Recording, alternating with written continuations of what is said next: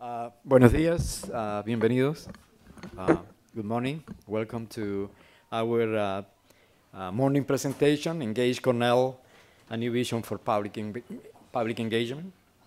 This time we are going to uh, have a fantastic present, presentation from faculty and students who have been working at Auburn Correctional Facility and, and with, with a group of incarcerated men who, um, in a way, to help themselves, to transform themselves to be, you know, productive for their own, for their own lives, they decided to put together a theater group, the, the Phoenix Theater Group uh, at the Auburn Correctional Facility. And they're going to tell, I mean, the students and Bruce are going to tell the story. Um, Leonardo Vargas Mendez, director of the Cornell Public Service Center, and uh, we do this kind of presentation throughout the year, actually, and so this is uh, one of um, many that we do. Um, and we do it under the umbrella of uh, Engaged Cornell. And uh, Engaged Cornell, uh, for this particular purpose, is just simply uh, collaboration between the Public Service Center and the Engaged Learning and Research, a new initiative that my friend Richard here will speak uh, a little bit uh, after me. The Public Service Center is the Community Outreach Center uh, of Cornell University, one, of, one of them. of course, we have a, a few others. And we engage students and co-curricular and curricular activities throughout the year. Uh, we organize and mobilize through our programming about 7,900 students a year, and we collaborate with about 100 and so faculty throughout the year. And they do it in a different, different roles and, you know, playing different, uh, uh, I guess, playing different roles for, for our students.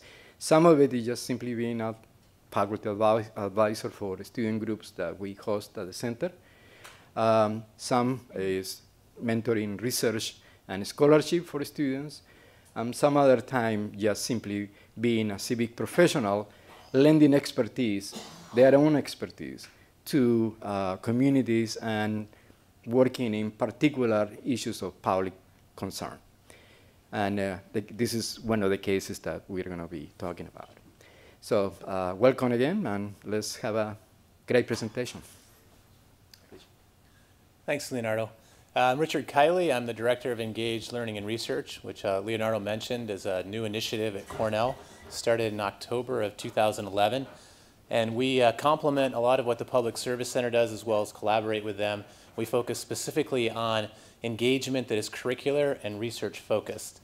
Um, and uh, I'll be available after this wonderful presentation to answer some questions. I don't want to take away a lot of the time from the main presentation today, but I, I would say that uh, the documentary that you're going to see uh, today and the discussion that's uh, going to take place is um, part of a collaboration that the Public Service Center and Engaged Learning and Research uh, were able to put together, and so it's really a pleasure to be here. So thank you.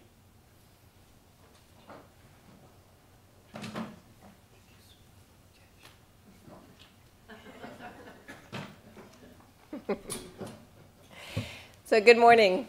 Uh, my name is Rebecca Stoltzfus. I'm a professor in nutrition and I'm also the Provost Fellow for Public Engagement, which is a new role. It's a new role for the university, and it's certainly a new role for me, and I'm learning a great deal by doing it. Um, if you haven't noticed or gotten the buzz so far, there are some new things happening in public engagement at, at Cornell. Some, some new thinking, some new leadership, some new, some new structures, and um, some new collaborations. So I'm, I'm really pleased to be a part of that and to, um, to take some time this morning to begin to uh, engage you in that story. So as Provost Fellow for Public Engagement, I'm working half-time on behalf of the Provost's office. And I see kind of two, two main thrusts of, of my work, and, and one is really the large, um, to create a large infrastructure or a large vision of public engagement, university-wide, that will um, connect to faculty activities, student activities, staff activities, and the communities with which the university interacts. And as you know, those are many, many communities from um, very local to, to very global. And within that large landscape, which includes research and outreach and um, education and service, to put a special focus on the student experience both in the curriculum and around the curriculum, co-curricular, curricular and co-curricular. And to do that, I'm working closely with these good colleagues, um, Leonardo and Richard, um, to, to really strengthen our attention and our resources and our rigor around that. Um, so our working definition of public engagement is to be a leading university where education, research, and partnerships act together to effect positive change in ourselves and the world. And an important, an important part of the evolution of that definition was that the object of this work is ourselves and the world. So it is not simply Cornell doing good things for the world, although we do do good things for the world. It's that in the process of engaging with the world, we also are, are learners. We learn and are transformed. Our education becomes stronger. Um, we become stronger as people, as professionals, and as democratic citizens. I got into this work several years ago um, when I worked with a group of faculty colleagues to start a new minor in global health, open to any student in any major. And one of the requirements of this, of this minor is that students spend eight weeks um, in a low income community um, outside the US borders to complete a global health field experience. So each summer, um, I'm responsible for the program that sends 50 or 60 students abroad for this kind of experiential learning.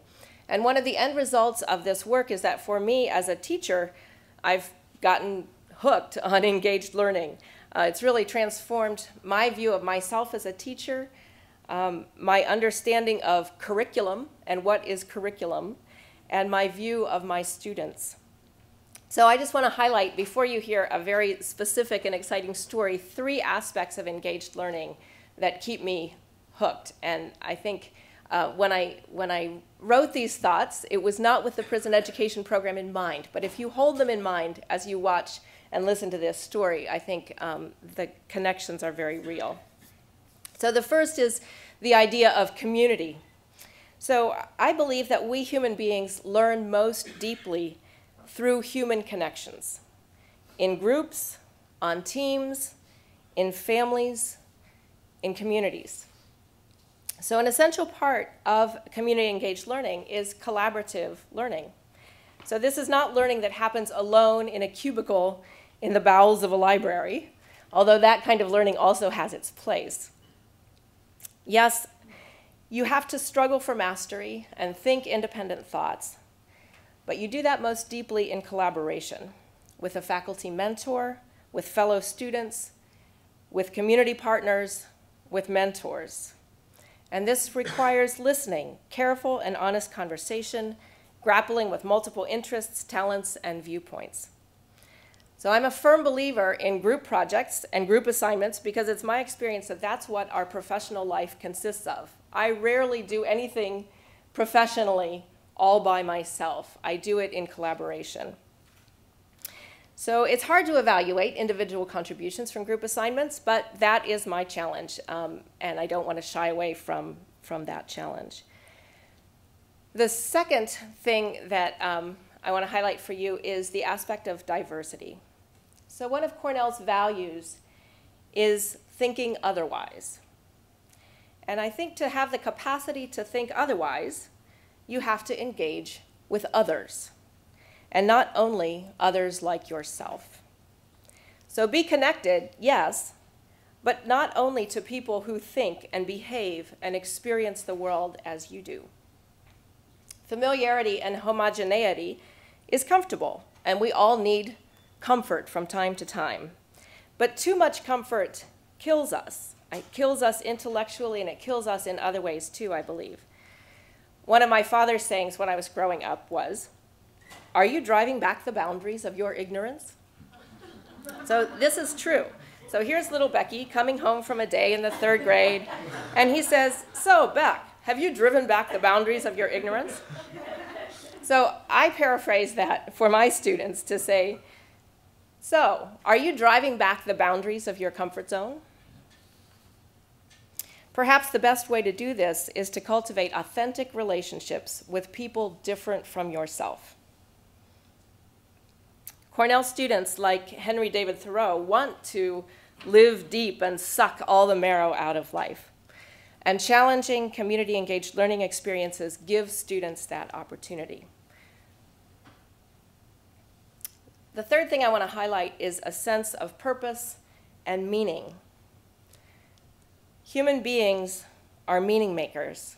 We respond to meaning. Meaning gives us joy. Meaninglessness gives us the opposite of joy, which might be despair. Our students are asking the developmental question what have I got, and what do I want to do with it? Or, in the words of the poet Mary Oliver, tell me, what is it you plan to do with your one wild and precious life? There is, of course, no single answer to this question. We all may answer it differently, and our answers will change throughout our own lifetimes. Engaged learning is necessarily problem focused and action oriented. It is learning in action with a purpose. The transmission and acquisition of knowledge is often viewed as the major endeavor of education. We teachers know things. We want our students to gain our knowledge. This is true. What is the best way for students to gain knowledge? Knowledge is now so abundant, so free, so accessible that rarely does a student need me to get a fact. Community engaged learning gives us an opportunity to synthesize and integrate what we know, to see our knowledge in action, to realize what we don't know, and to begin to move from knowledge to understanding. David Weinberger recently wrote an excellent book entitled Too Big to Know about the proliferation of knowledge and how it overwhelms us. And he cites a letter to the journal Science that was written by a physician in 1963, now 50 years ago, titled Chaos in the Brickyard. And here's a really great quote from, from his writing. This letter from the physician warned that the new generation of scientists were too busy churning out bricks, facts, without regard to how they go together. Brickmaking, Forscher feared, had become an end in itself. And so it happened, he writes, that the land became flooded with bricks. It became difficult to find the proper bricks for a task because one had to hunt among so many. It became difficult to complete a useful edifice because as soon as the foundations were discernible, they were buried under an avalanche of random bricks. Our students sometimes feel that we are hurling random bricks at them. Engaged learning allows students to pause from catching bricks and begin to build an edifice. They discover that they don't have all the right bricks and are motivated to go find them. They begin to move from knowledge to understanding. Community engaged learning is a learning triangle. It involves faculty, mentors, it involves students, it involves community partners, and in this case, the community partners are prisoners. But in that triangle, what I enjoy watching is who is learning, who is teaching, who is being transformed. And with that introduction, a very particular story. Over to you, Bruce.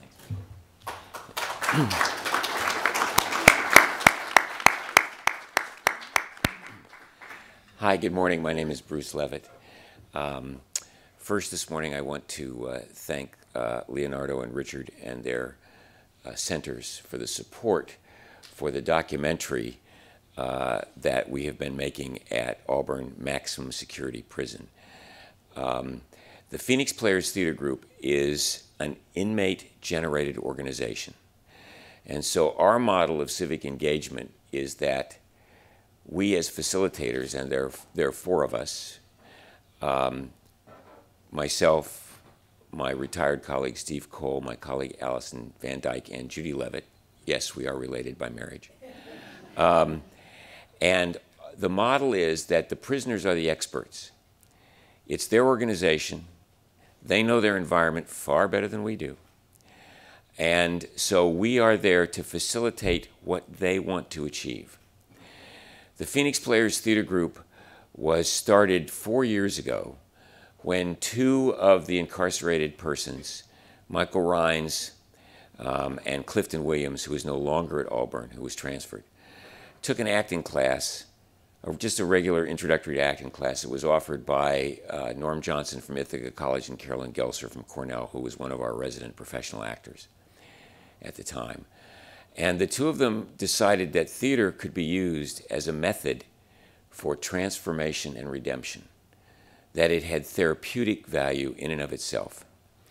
So they wrote a proposal to the administration, David Roth, who is the director of volunteer services. And David called Pete Wetherbee, who many of you know, retired professor of English, who 17 years ago went to Auburn to teach literature as a volunteer. And from that, uh, Mary Katzenstein eventually got involved, and from that, the CPEP program, the Cornell Prison Education Program, was formed, which is uh, a program that is partially funded uh, by Doris Buffett's foundation, the Sunshine Ladies, and which just graduated its first class of 16 incarcerated persons with their associate's degree. Cornell offers the courses, faculty volunteer their time, graduate students get a stipend. Um, and uh, then the Cornell gives the credit, transfers, transfers the credit to Cayuga Community College, which then grants the degree. We are not part formally of the CPEP program. There's another whole series of programs that are run by volunteers. And because this is an inmate generated group, there is no credit for it. There's no college credit. Um, so Pete contacted my retired colleague, Steve Cole. And Steve went up and interviewed with the two founders three times before they accepted him as their first facilitator. Steve worked with the group for a number of months in various acting exercises and in various physical representations of emotional inner life. And as one of the men, Kenny Brown, said at one point, in not in this in the documentary, part of the documentary you'll see this morning, but later in the documentary, that he didn't know that there were different emotional ways of being that he was angry all the time. And he didn't know that you could decide about your own emotional life. So um, Steve then, at a certain point, called me because the, the men wanted to perform. They wanted to invest what they had learned, both about themselves and their skills, in a performance. But they can't rehearse because they only can get together two hours and 10, 15 minutes on a Monday night. They can't get together and rehearse outside of that time because it is a maximum security prison. So it seemed the logical step was to do a, a performance uh, around solo performance, which I teach here at Cornell. So what we what we did was to evolve a solo performance based on the autobiographies and the autobiographical stories of these men. And we worked on the stories. They told them. We wove them into a 90-minute script and we can we, the the facility allowed us to invite 80 people from outside the facility to come and witness this performance. Their relatives could not come. A lot of some of their teachers from the CPEP program came. Other interested people came. After that performance, we spent time processing it, and we asked the men what they wanted to do next. And Michael Rhines, who is one of the two founders of the group, and a poet, the poem you have in your program, he wrote. He's nominated, uh, as a matter of fact, for an International Pen Award this year, and he will find out in February whether he gets that or not. Um, Michael said, We need to do Shakespeare. We need to rub up against Shakespeare. And the responses were everything from Shakespeare's hard to who's Shakespeare. These men are very smart, they are simply undereducated. So we took uh, a group of soliloquies. I took a packet And the men read them all and decided which one struck a chord with them. And we began working with those soliloquies. And the, as we settled on the one or two or three that each man was going to do, I asked the men to write reflective pieces, sort of impressionistic, not necessarily naturalistic, on their piece or somebody else's. And you will see the results of one of those in the documentary. And then when we did the solo performance piece, the, the facility allowed us to record, make a sort of um, archive recording, one camera at the back of the room with a microphone on it, which wasn't very satisfactory, but we do have the record. So I got brave and I wrote Dave Roth and I said, How about us doing a documentary on the group? And he called me, it had to go all the way to the Commissioner of Prisons, Brian Fisher, but he called me three weeks later and said, Guess what? I'm coming to Ithaca so we can discuss this documentary you're going to make. So then I needed a crew and I needed film partners. Uh, so Andy Watts, who teaches film production up at Ithaca College, joined me and he brought three of his students. And I went to Marilyn Rivchin, our documentary, our film teacher who was teaching on doc documentary course, and she offered it to members of her class. And Jamie and Joey volunteered to do it. So it was five students, three cameras, about 20 sessions at Auburn. Now, Jamie and Joey had to turn in a 15 minute documentary for their final uh, in April, and we hadn't even finished shooting. So they had to find a way to tell a story in 15 minutes, which is a very long story, and which in, our, in the documentary that Andy and I are editing will probably be anywhere from 90 minutes to two hours by the time we finish. Um, so they focus on two of the men in the, in, in the, uh, in the group. Uh, and I think I'll stop there and let Jamie and Joey talk about their experience and the way they arrived at the choices they made about the documentary you'll see in a few minutes.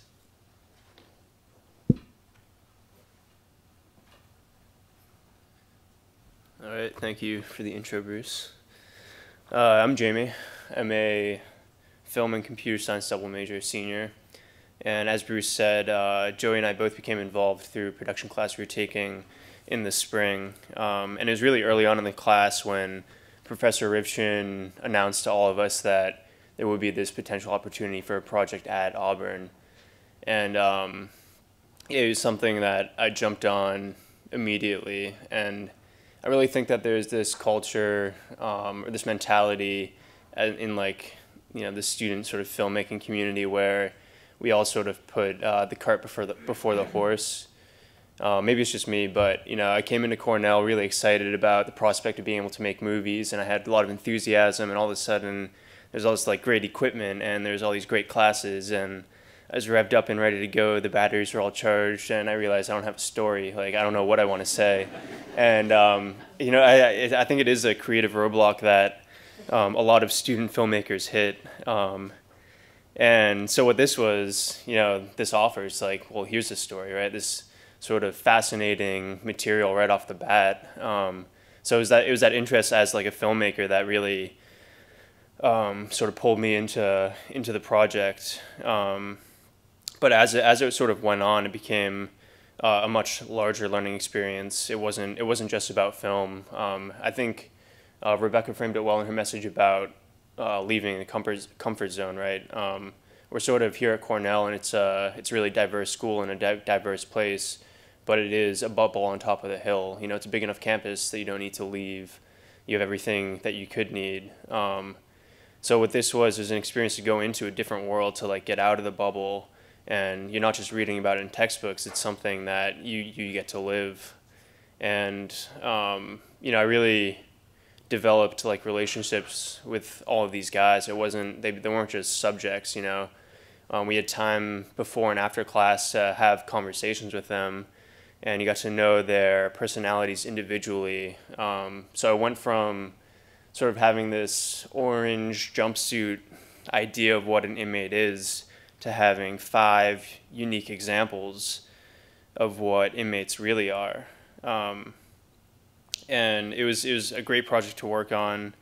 It was a great um, experience in general, and the hardest part was 15 minutes is a long time, but we had what I don't know 100 hours worth of footage, so it was it, it was isolating it down, you know, to find what story we wanted to tell because there's so many 15 minute stories that we could have pulled out of the experience. But um, in the end, we focused on two of the guys, like Bruce said.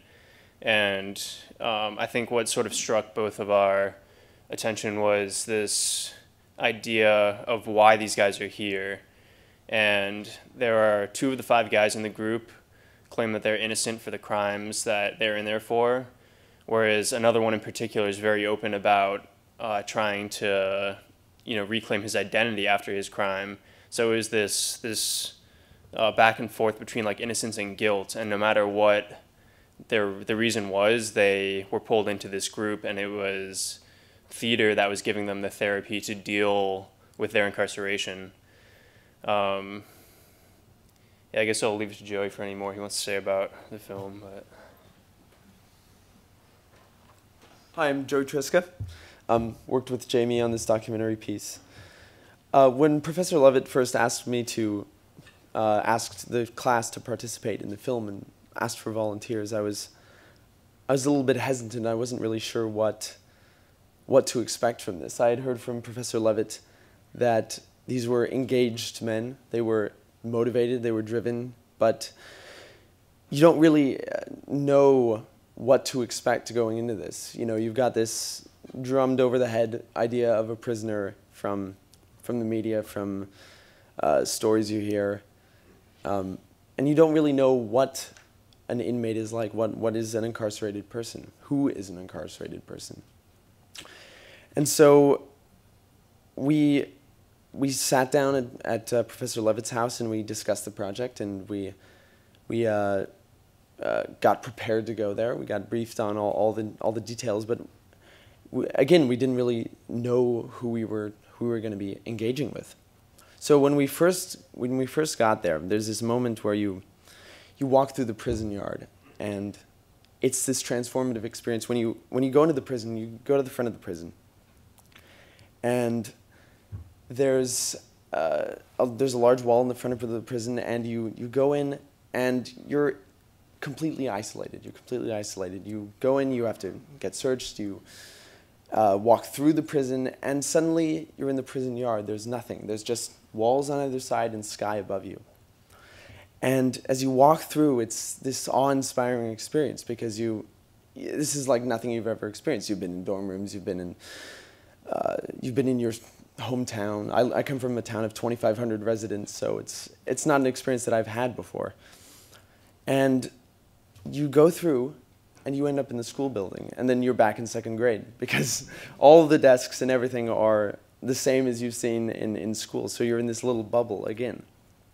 But for, for these men, it's, it's a bubble of safety and it's a bubble of education and transformation. Because they, again, for most of their day, they're, they're, they're in prison, they're incarcerated. But for those few hours, they have this time to work on themselves and work on dealing with their incarceration, as Jamie said. So when we first met them, I wasn't sure what to expect, but I was astounded by their reaction to us. They welcomed us into the group. At first, there was a little hesitation. There's always this, in documentary filmmaking, there's always this barrier between you and, this, and the subject, so to speak. Again, using this terminology as subject because you've got this camera between yourself and the person you're speaking with. So there's always a little bit of a barrier there. But what they did is they, they came in to us. They came to us and really made an effort to break down that barrier. And so we all sat around and we discussed why we were here and uh, what our reactions were to this experience of coming in, and just talked about them. They told us their stories, and we told we told them ours. And they gave us a little homework. They said, next time we want you to come in and we want you to tell us what reflect on what you what you thought when coming in here, and how that has changed.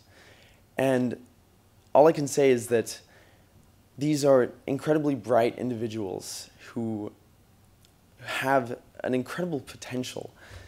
And uh, they did some incredible work that we'll see here in the documentary.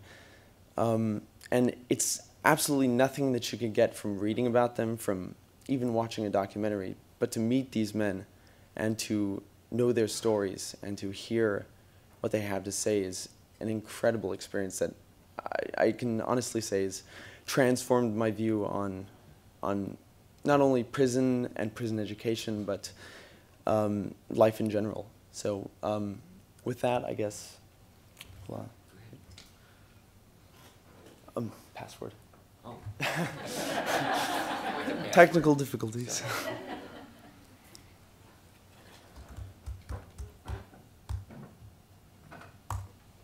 Okay, there you go.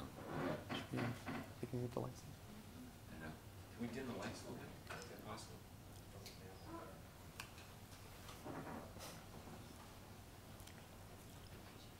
Here? Oh, on the podium, sorry.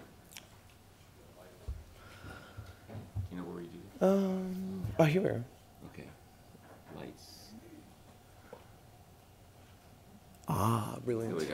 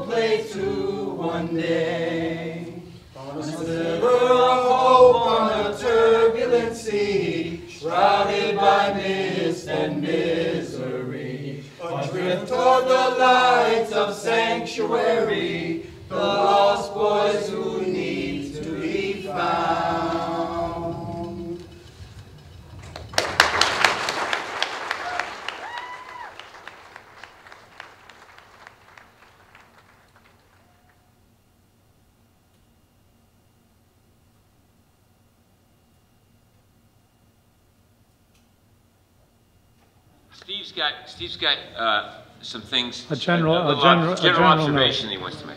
Yeah. I want to remind ourselves uh, of where we are and what we're doing here. Because in the midst of all of this stuff that's driving Bruce crazy, and uh, uh, it's, a, it's a normal process for us in the theater, but not for y'all, how hard this is to get it all organized.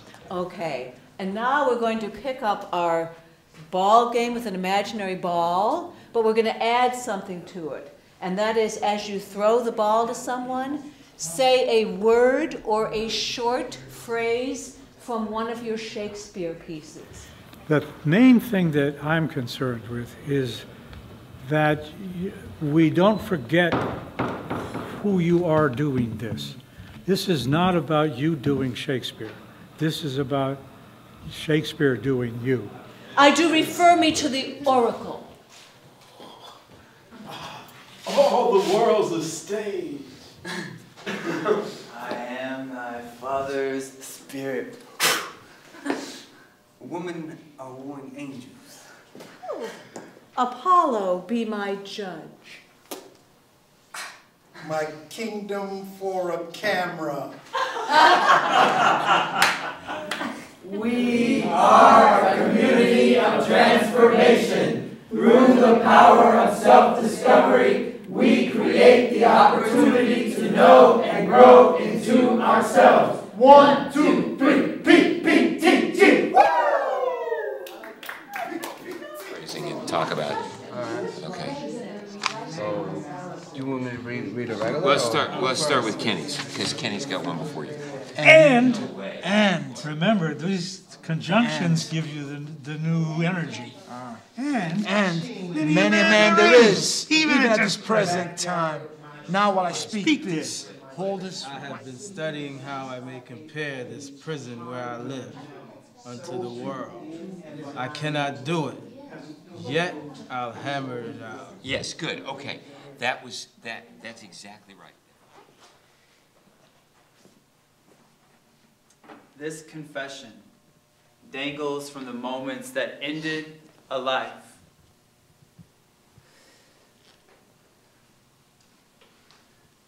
Oh, my offense is rank. It smells to heaven.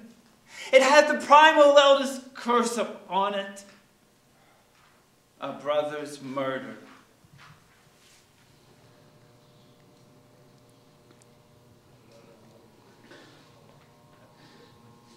It's really hard to watch. Um, because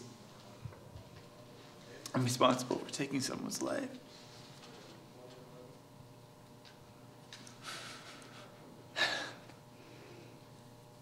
I was talking to Alana for a minute about it, and um, it was really hard watching because uh, you realize that you're in a system that doesn't really let you grieve. Because when you're responsible for that, you lose your own value. As a person, you lose your own humanity. I need my things. It's over. You, you lied to me. I can't trust you. No, no, no, no, you sick fuck! I'm a liar. Get in the car. I'm going to have you taken care of once and for all. No!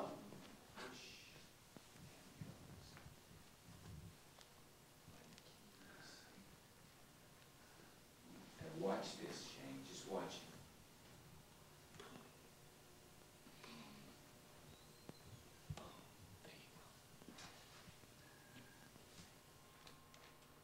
Twenty-two Earth revolutions around the sun plus life.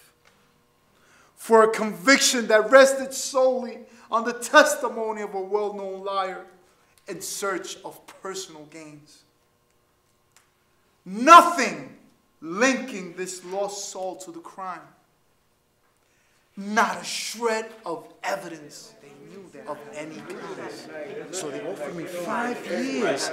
And, and the judge, I have it in the transcripts in black and white. The judge states, listen, let's give closure to this case. Take five years. As a matter of fact, the district attorney offered you six to 12. I'm offering you, the courts, five years. Just to put closure to this. And I just, I was like, no, I, I, I didn't do this. I'm not taking this.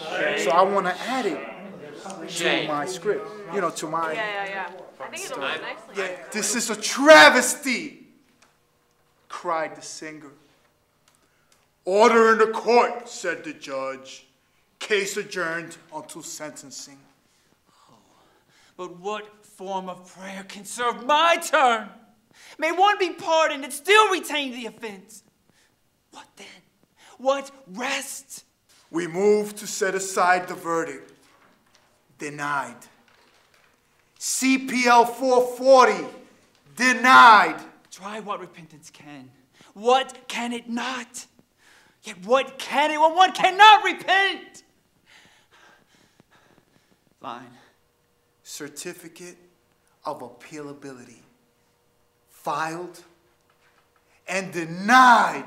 Oh, wretched state, bosom black as death. Oh, languid soul that's struggling to be free art more engaged.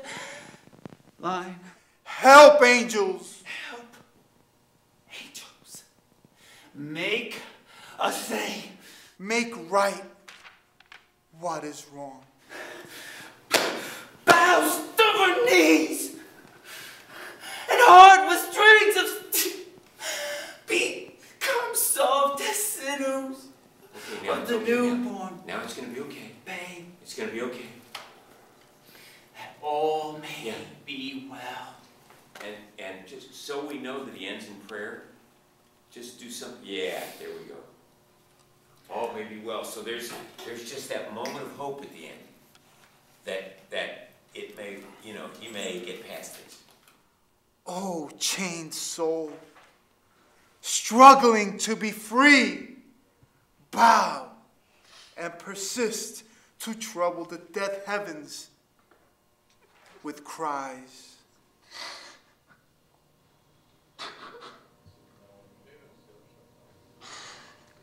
I really don't know what to do. I want so much to be able to to be able to heal and to somehow bring light into the world after bringing so much darkness. It's been 17 years.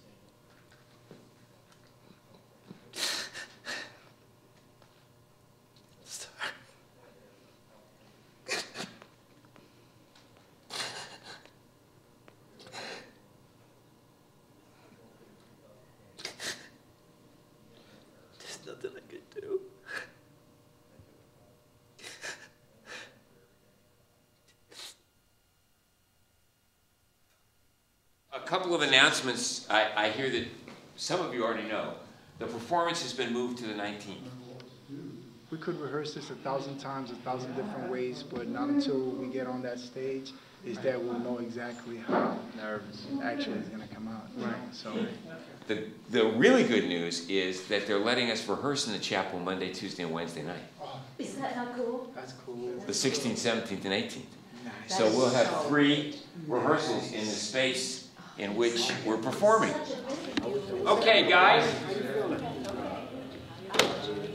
You want to do a little opening, and then we'll, we'll get started? What time is it? Yeah, okay, 7:35, so maybe five minutes, and then we'll go. Okay.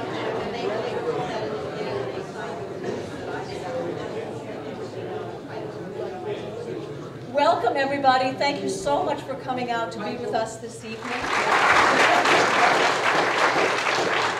And all of us who've been working with the Phoenix Players Theater Group, otherwise known as PPTG, are so happy and thrilled to be able to share this performance with you tonight. Thank you so much and enjoy Maximum Will.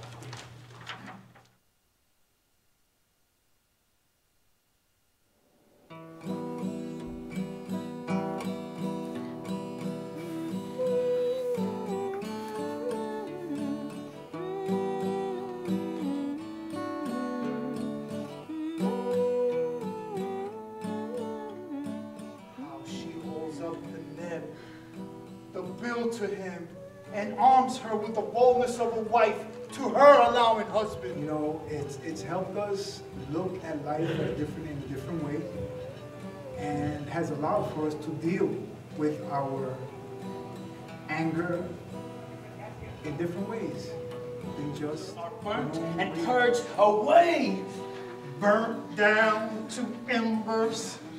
You've purged away by those in high office with low ambitions for a crime which is not mine.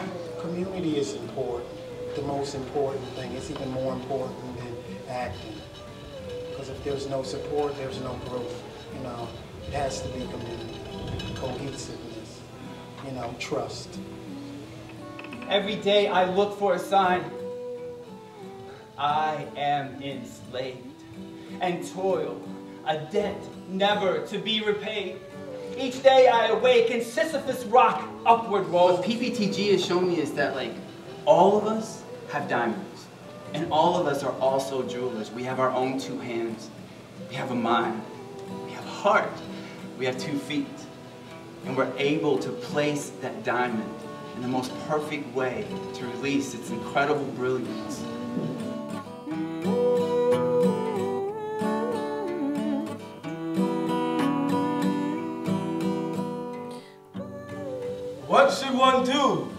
While enclosed in three walls of steel? As the sunlight flickers across the front gate, one is reminded that there's life beyond the wall.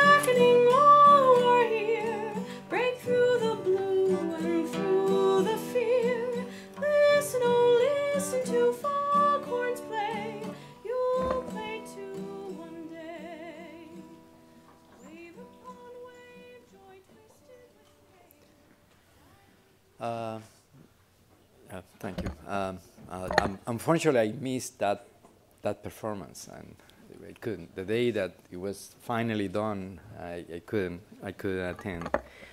Um, but definitely, it must be an, a wonderful, uh, a wonderful performance, and um, seeing this is this particular uh, video just. Uh,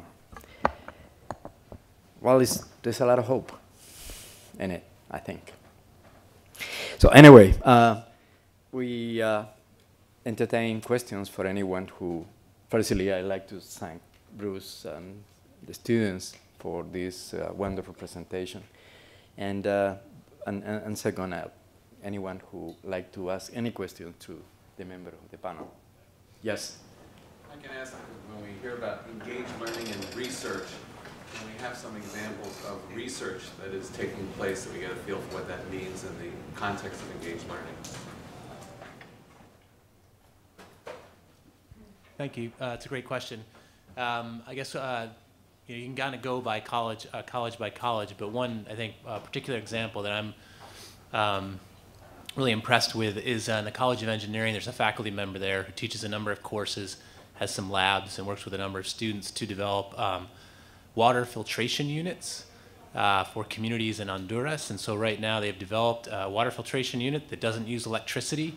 It goes uh, relies on gravity and they work with community members in Honduras, and right now they're serving over 30,000 people with clean water based on the patents that they've developed to these water filtration units. So that's an example of engaged learning and research. Can I, can I respond to that too? Sure. Um, there's a wonderful organization called Imagining America, which is uh, one of the co-heads, Scott Peters, is a former Cornell faculty member in the former Department of Education, and uh, then was moved to horticulture, and now he's at Syracuse running where Imagining America, which is a consortium of 90 colleges and universities. One of the founding members at the time was uh, the University of Iowa, and David Skorton was at the White House when Imagining America was started. Um, it's the subtitle of Imagining America is uh, Artists and Scholars in Public Life. And Imagining America is trying to convince universities that doing the project is the research and is the publication, rather than us writing an article about this. This is the publication. This is the research. Uh, and that, uh, that kind of, um, uh, the kind of acceptance of that for promotion and tenure in universities would go a long way in cementing this kind of activity on university campuses. Absolutely. Thank you. Yes? Yes, uh, this is very fascinating. So compliments to the students, the team who did this. Is there any other part of the university that would take the learnings from this and then engage with policymakers just to inform public policy on the issues of incarceration or punishment or redemption? I mean, the, the, the prison education program actually has a number of faculty involved. Uh, they, they teach uh, a series of courses, uh, and in, in the teaching, as well as their own uh, work, uh, research work, they, they actually do that. They move from uh, simply the service provided to the incarcerated men to a more research and policy oriented, especially students. I know the students are moving forward with you know, th this kind of work. My question is, uh, is there this engagement from this learning with the policymakers?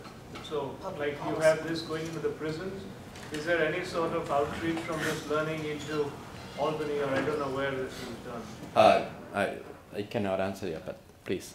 So when I, um, when I began to learn about the prison education program, which I only knew superficially when I, when I took on this role, one of my questions for, for the leaders of the program is, is where, where is the discourse happening on the policy issues around this, that for us as, as US citizens, this is a major, this is a major issue for our society. And I know that I, as a citizen, would rather hide from this, this issue. But one of the things that, that this program can do for the Cornell community, and as you're pointing out more, more broadly, is bring the issue in, into focus for us. Um, I, I don't have the statistics at, at hand, but if, if I'm increasingly convinced that this is a major public policy issue with economic and social um, consequences for, for our society, and it's one that is largely hidden.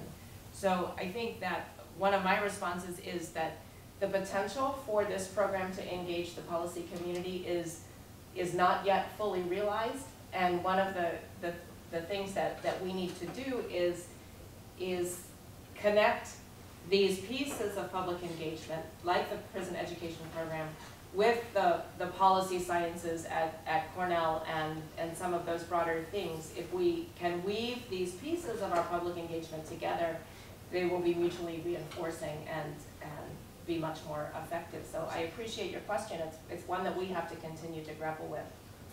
Um, just let me add to that that um, the request to make this documentary went clear to Brian Fischer, who's the Commissioner of Prisons in New York State.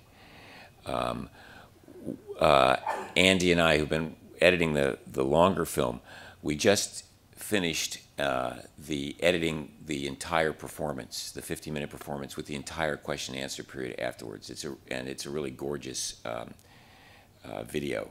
And we have sent it now to uh, the, the, uh, the officials at Auburn, and they will share it with those people in Albany.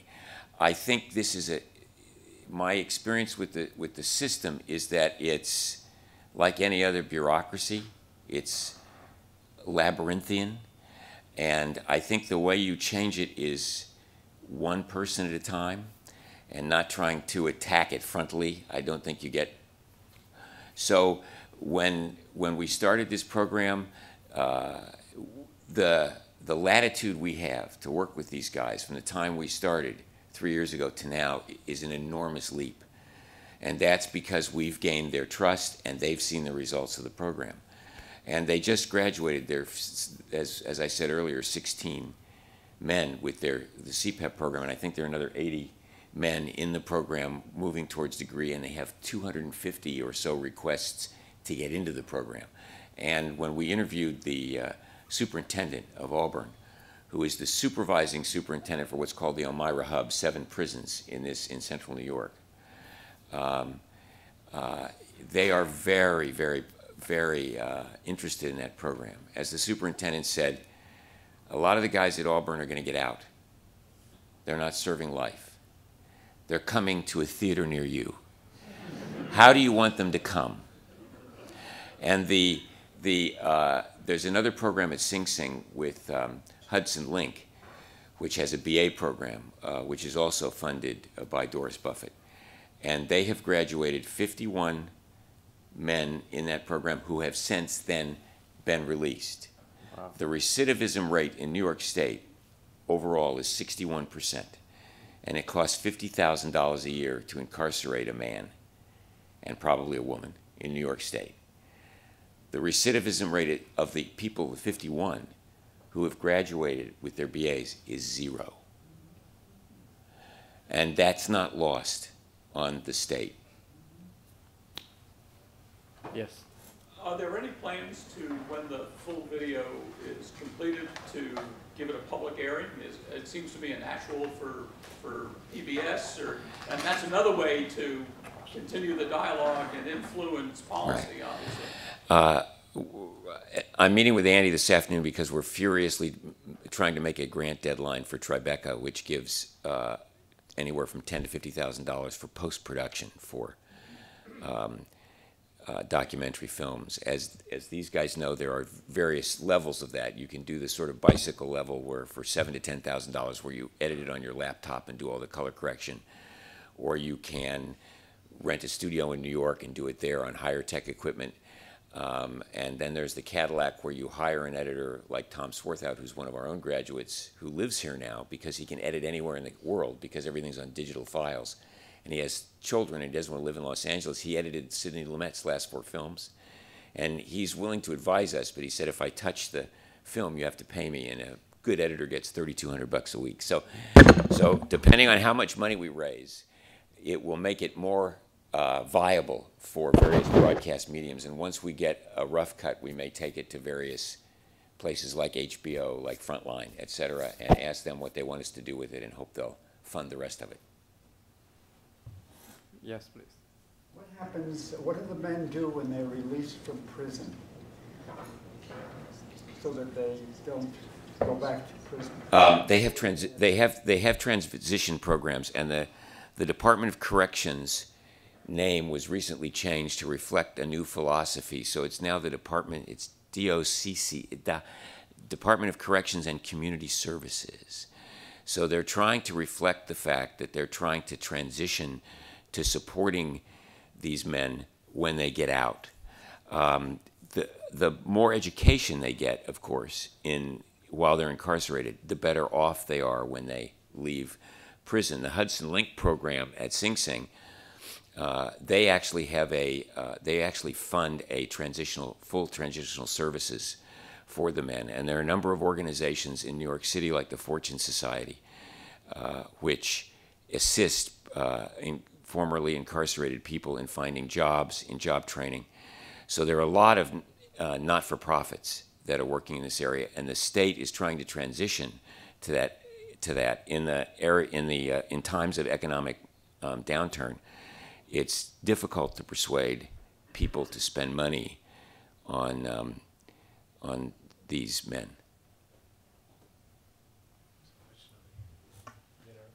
Yes. Just another route that I would uh, raise with you, uh, understand the, uh, both the broadcast and the festival approach, but there are, um, you know, prisoner advocacy groups around who may themselves not be very powerful, but who undoubtedly are part of a network where they would find more uses for the film to, to make it uh, effective with respect to uh, some ideas of prison reform. That, that obviously has to do with the final film, or even the final short Right. part of it. But uh, uh, lots of those groups which have their own agendas also have their own contacts Right. and ways of spreading out uh, and finding uses that would uh, be effective. There is a, uh, a, a whole group of people associated with various universities who are members of Imagining America that have an advocacy network in which um, I participate. And uh, uh, in the Minneapolis conference a year ago, we had a meeting and um, talked about sharing resources and things like that. So that's certainly a viable option. Yes. Just a question about the making of the film itself. Um, one of the things in the introductory remarks, I think I heard someone say that the family was not, uh, they couldn't, they couldn't participate in some respect. I couldn't remember what the thing was. I was just curious, was that because they couldn't, or there was a choice in terms of the filmmaking process, or why, why was that? Um, the families couldn't come to the performance. Uh, the, the, the access and restrictions on family are um, very carefully circumscribed uh, because um, contraband comes into the prison in two ways, and one is family. Um, the other is guards. Um, and so uh, they're very careful about the contact with families. They're even very restrictive on us. I cannot, none of us who are volunteering can write the men. The men cannot write us. Kenny Brown, uh, who is the uh, man with the beard uh, in the film and whose voice you hear at the end of the film, was transferred to medium security. He's been in 23 years. His minimum is 25. There is no parole in New York State.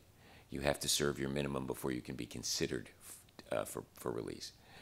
Um, and even though he's at another facility now, he can't communicate with us. We can't communicate with him. We are forbidden as volunteers to do so.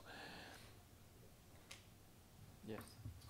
Do we have any idea approximately what the percentage of our undergraduate students are that participate in some form of engaged learning? And then how does that compare with, say, our Ivy Plus peers? We, uh, the, through the Public Service Center programming and the Service Learning courses, we have 7,900 students, undergraduate students involved in this, which is, uh, you know, uh, two-thirds of, uh, you know, of the undergraduate population.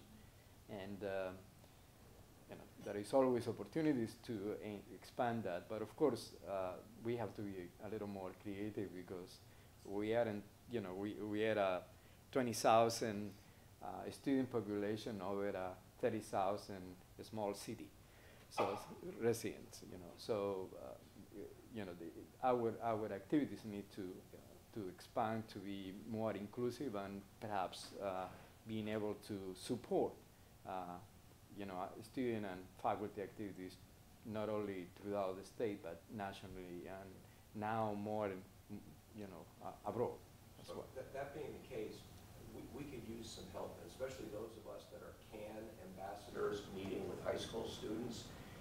I don't think these, this type of engaged learning is really emphasized in any of our CAN material. And it strikes me, this would be a great thing when we're doing high school fairs or our individual contact meetings with applicants, um, to have, Absolutely. to have some more knowledge. So if you could help us with admissions, that would be wonderful. So I have recently been um, working with the data from the 2012 senior survey um, to try to get at this question. So if I define engaged learning as um, an international experience or a research experience or an internship or service learning, the overall participation rate in engaged learning of the 2012 Cornell seniors is 94%. Wow. In no college is it less than 90%. So the type varies around the colleges.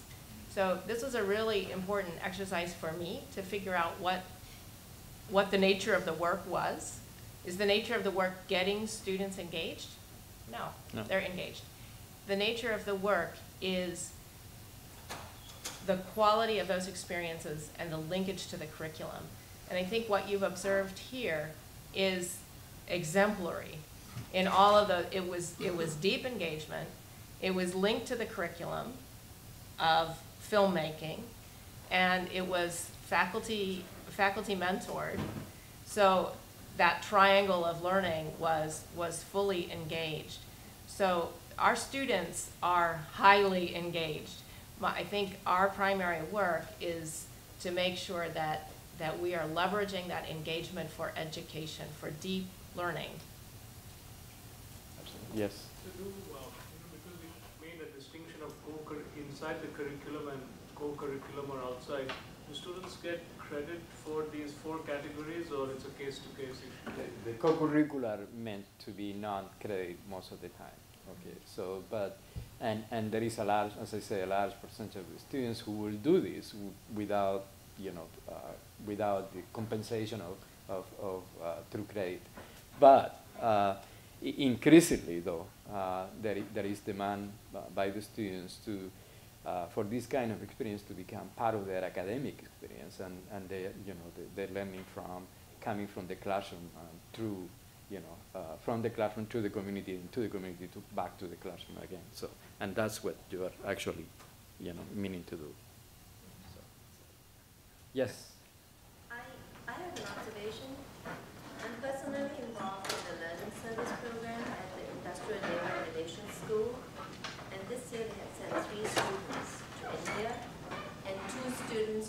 Israel for the first time. And it's all concerned with the issues of disability and employment issues and policy making. So this year we had a um, India and, and Israel, very two different models. But I was just curious because in all the public literature that I get from Cornell, they never mention this program. And I'm just, the gentleman on the, on the uh, three rows down, uh, up from the front mentioned that, you know, as an ambassador, we don't get this information from anybody. So it's only the individual colleges because we are personally involved, that we see it.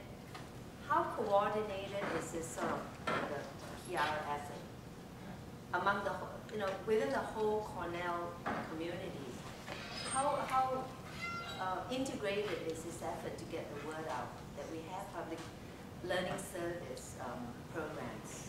Uh, you know, from firstly, um, we just launched, uh, you know, engaged learning and, and research, uh, which is precisely and, and through that engage Cornell, which is the umbrella category to sort of speak broadly about the many forms of uh, community engagement that uh, faculty and students do uh, here and everywhere. And, and so the, the, the, elevation from, let's say, from the hidden, you know, from the hidden life that occurs through this learning, you know, to become part of what is, you know, Cornell all about and how we actually portray that to the public is, is something that we are just starting to do and, and work through. We, uh, well, we, we are, what we are trying to do is simply uh, making sure that, that, you know, our, all our, uh, you know, uh, new publications uh, are actually picking up, you know, the, the good work that is done by faculty and students when they are engaging, you know, themselves in, in communities and so forth. So we hope that eventually they will become part of the admissions publications and the stories that they, they want to tell about Cornell. Uh, you know, we have now public engagement as one of the strategic, uh, strategic goals for the university, which means that we, we are sort of uh, invited to elevate our level of exposure on campus, you know, uh, around, around this particular form of education, which are at the very heart of what the land-grant mission is and the kind of education that this university ought to impart to students. So Yes. um, I could, maybe I could address that a little, um, in specific ways. Uh, So when the Engaged Learning and Research uh, Initiative started in October 11, what we have been doing over the past, I would say, over eight months, I mean, first find space, get staff, and then meet with a variety of different people in each college to start to inventory what are the activities going on. And actually, I'm really pleased to say that ILR was probably the first college to step up and inventory all of their service learning courses. The dean actually um, asked one of the staff members to do that. So we provided a, a template for Kevin Harris, who works there, who put together a wonderful report on the activities that are happening in ILR. Of course, they're a smaller school, so it's a little bit easier to inventory. But what we're doing now is systematically going to each college and saying, have you done an inventory? What are the programs you're offering? And it's, it's different at each college. So if you go to, for example, architecture, art, and planning, where I, I'm a faculty member and teach service learning courses, you wouldn't necessarily know I do because they label them as special topics courses. And so unless somebody is systematically inventorying those courses, you won't even see it necessarily listed in a course catalog because it might respond to an emergent issue. Right. So, so for example, a course that, um, that I taught with another faculty member was to help design the recovery, recovery plan post-Katrina in New Orleans, which was a, a wonderful project uh, and entailed a significant amount of research. We looked at the physical and structural damage of 3,000 parcels in the Ninth Ward. We, we interviewed over 220 residents of the Ninth Ward, and we produced a plan that was substantial, and it was part of the official planning process. Um, so that's so, but you wouldn't have known that that happened uh, because it was a special topics course that we were able to have a contract with New Orleans, and it, it, emerged that way. So, um, another activity that we're engaging in is, is um, uh, Professor Stoltzfus mentioned is um, where we've now worked with institutional research to put questions in each of the surveys to get a sense of what happens when students come here and what are their aspirations and did they have a, a high school experience in this area? Do they want to continue that? And then actually getting more specific questions so we can get good baseline data, which we don't have right now. And I guess the last thing I'll say is uh, Cornell was fortunate to get receive an optional community engagement classification from Carnegie. Carnegie has a new classification for community engaged institutions, and so we applied for that. And in the process, it was really the first time that we went out and tried to gather data on who's engaged in public engagement activities and what does it look like.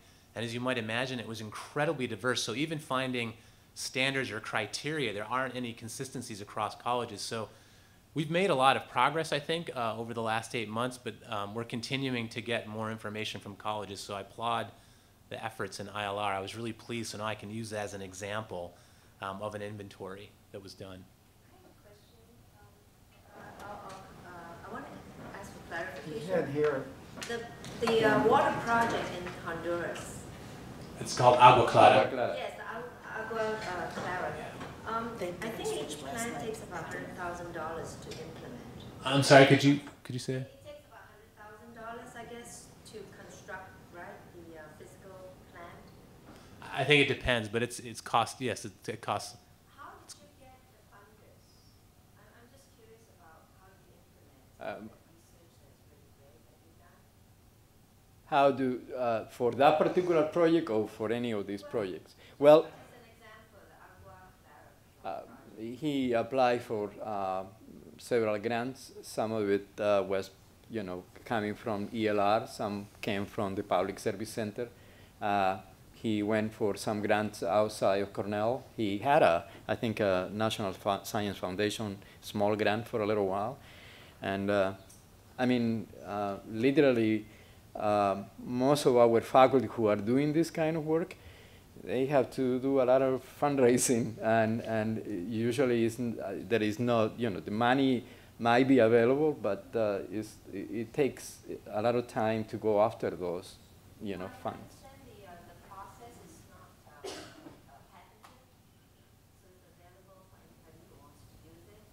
But in order to build the plants themselves in the, the processing facility in the Honduras, did you go to an NGO or did you go on the ground in Honduras?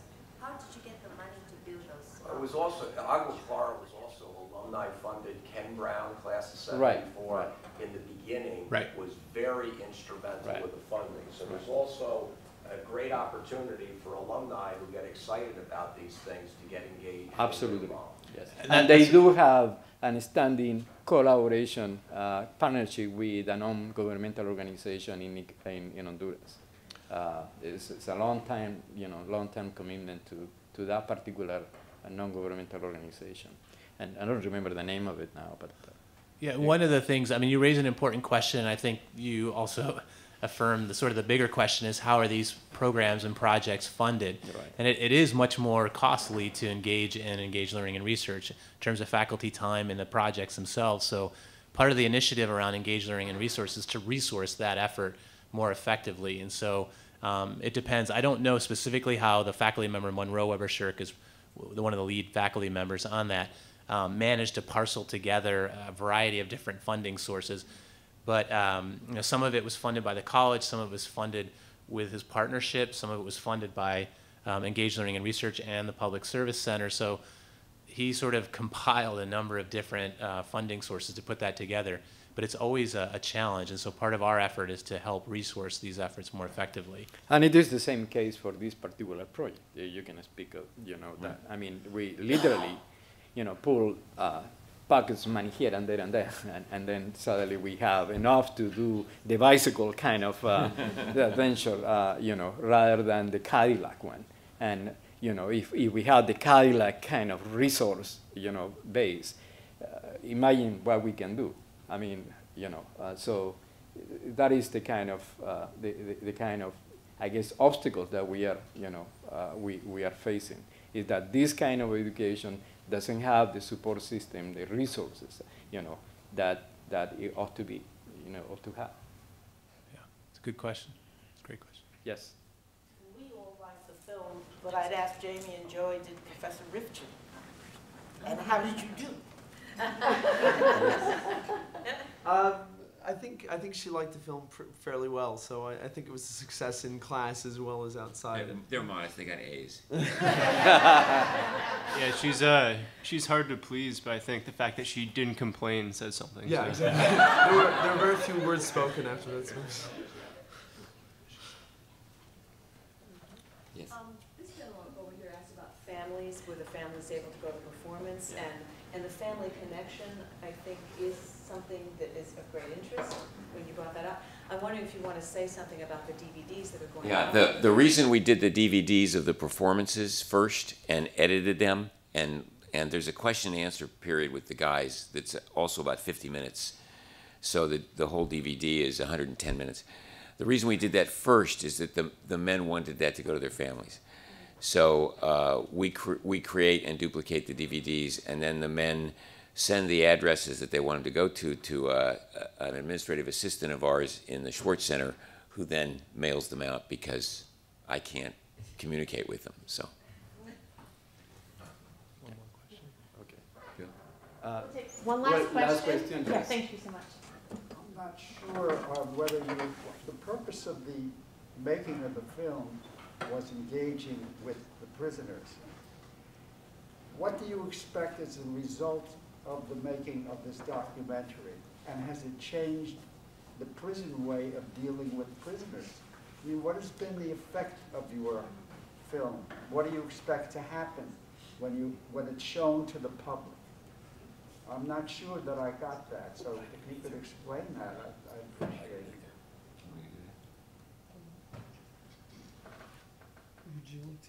Sure, sure. Um, the the fact that the that the system um, allowed us to move from one kind of public performance to another. The security involved in taking in a three camera shoot with all its equipment to the prison is something that they would rather say no to. You can imagine, we, they had to put, it cost them overtime every time we come in because there have to be two dedicated uh, corrections officers with us every time we come into the prison to shoot to shoot the film to make sure the men do not touch the equipment. Um, so that in itself, just the fact that they let us make it after this group has been together for three years, is an enormous transformation. David Roth, the volunteer services coordinator, when he called me, said he'd just fallen off his chair. That they gave us permission to do this. Um, I also think that the that the impact once people see the documentary is hopefully in what one of the goals of the men, which we're trying to help them with, the reason they want to be witnessed is that they want to alter the stereotype of what an incarcerated person is. Not that there aren't people that belong in prison, not that there aren't people that you would not want to run across in that prison. In fact, we just expanded the group, and the men wrote a six page application and the, the other people who wanted to apply for the group had to fill out that application. And uh, so the interesting thing is that one of the men wrote in his application how much he'd noticed a change in D, Diaz, the short, bald headed man in the video, and how much easier he seemed to be inside the prison and how much at peace he seemed to be with himself. And that's what drew him. He sat, he grabbed Diaz in the yard one day and said, How come you've changed so much? And D told him, and he applied, and he's in the group now. He's been accepted in the group. And the older guys, the guys who've been there, the original guys, are now training the new guys. Um, so it's being passed on. The facility sees the effect on these men. The facility then reports that effect as I said, the superintendent of Auburn is the superintendent for seven other prisons in the Elmira hub. And if he could, he would have a theater program in every one of those prisons. But there aren't universities and colleges nearby or people with the experience or training yet to run those programs. Um, they would love to expand the CPEP program to be a BA degree, a BA program, because they see the effects. Um, so I think there are a synergy, synergistic relationship amongst a lot of the things that we're trying to do with this documentary. To have these men witnessed, to have people begin to question the in, the system of incarceration. As as Rebecca said, um, there's a private prison system in the country, and they take transfers from states all over the country of the people who are incar. They want the people who have the longest sentences because if they keep them incarcerated, they make money. If the population goes down, they don't make money. Um, and there have been some insidious relationships between that have been documented between judges and private prison systems. So hopefully the documentary will, be, will help that conversation in the country about these men. There's a move now in New York State to reinstate parole. We hope that this documentary, when it's released, will accelerate the conversation about parole. Because there's, speaking personally, um, one or two of those men right now should be eligible for parole. Kenny should be eligible for parole. He's been in 23 years. Another two years isn't going to change what, and, and I would have him in my home.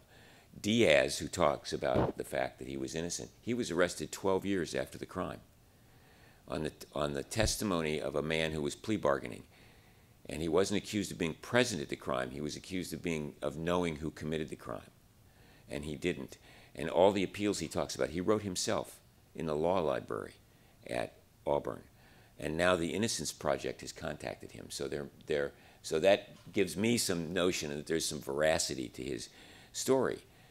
So all of these are topics for conversation that we hope this film will provoke. Can you have a written thing about what you just said so the public understands what the purpose of the film is? Uh, that you want to engage other institutions? You feel that, that New York State's the only state that doesn't have parole? Well, that's in the grant proposals, yes. That kind of thing is in. No. Uh, I'm a storyteller.